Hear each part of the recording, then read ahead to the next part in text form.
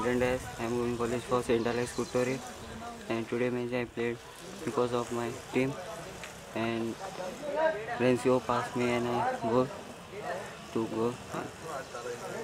and I feel like to play the last game to play this game.